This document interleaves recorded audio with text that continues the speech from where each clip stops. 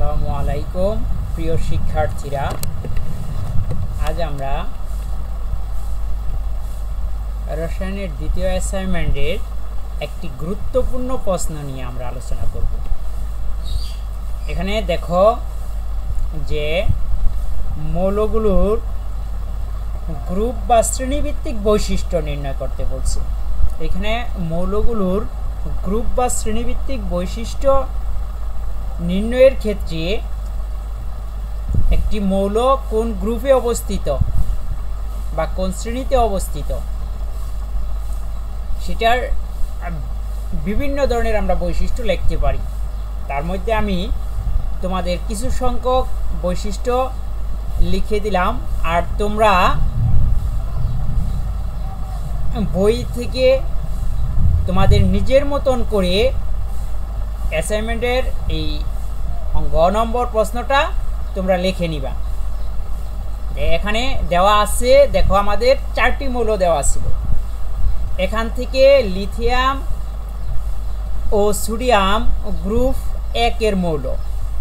এখান থেকে লিথিয়াম এবং সোডিয়াম, আমরা বুঝতে পারলাম যে এটা একের মৌল।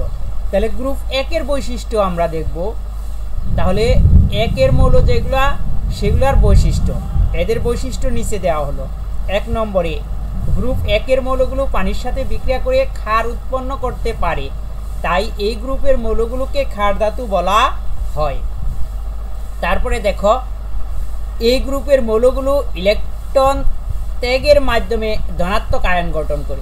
এই গ্রুপের অনেকগুলো বৈশিষ্ট্য আছে। তার মধ্যে আমি দশটা বৈশিষ্ট্য আমি উল্লেখ করব।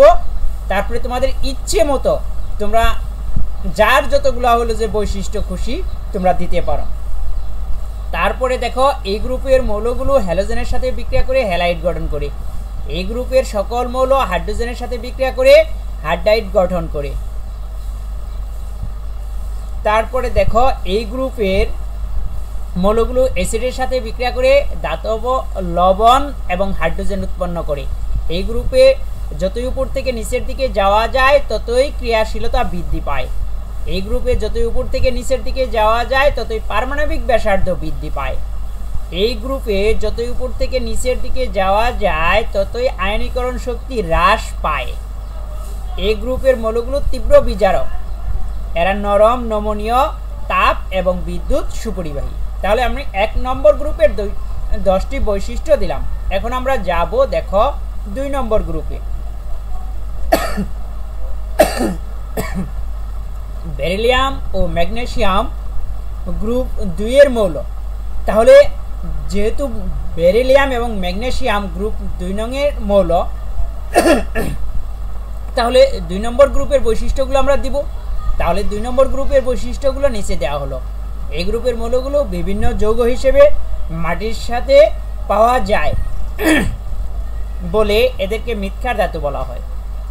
এই গ্রুপের সকল মৌল দুটি ইলেকট্রন ত্যাগ করে ধনাত্মক দিয়ে আয়ন উৎপন্ন গঠন করে। এই গ্রুপের মৌলগুলো কার্বনের সাথে বিক্রিয়া করে কার্বাইড গঠন করে। এই গ্রুপের মৌলগুলো হ্যালোজেনের সাথে বিক্রিয়া করে হ্যালাইড গঠন করে।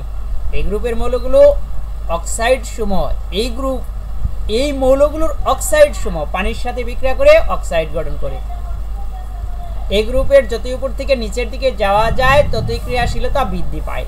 এই গ্রুপে যতই উপর থেকে নিচের দিকে যাওয়া যায়, পারমাণবিক ব্যাসার্ধ বৃদ্ধি পায়। এ গ্রুপে যতই উপর থেকে নিচের দিকে যাওয়া যায়, আয়নীকরণ শক্তি হ্রাস পায়। আর আয়নিক বন্ধ গঠন করে। এ মৌলগুলো বিজারক পদার্থ। এ গ্রুপের মৌলগুলো বিজারক পদার্থ। তাহলে আমি দশটা বৈশিষ্ট্য উল্লেখ করলাম। প্রত্যেকটা গ্রুপের দশটি করে বৈশিষ্ট্য উল্লেখ করলাম। তোমরা আরও অনেকগুলো করে হলে যে দিতে পারবা। যে এই গ্রুপের মৌলগুলোর ইলেকট্রন বিন্যাসের শেষে দুটি করে ইলেকট্রন থাকে। এদের যোজনী দুই। এরা দুই দুই নম্বর গ্রুপে যে মৌলগুলো অবস্থিত, এদের অনেকগুলো বৈশিষ্ট্য তোমরা হলে যে উল্লেখ করতে পারবা। তার মধ্যে আমি দশটা বৈশিষ্ট্য দিছি, তোমরা আর ওগুলো তোমাদের ইচ্ছা মতো দিয়ে নিও। ওকে, প্রিয় শিক্ষার্থীরা, তোমরা সবাই ভালো থেকো। তোমাদের সবাইকে ধন্যবাদ।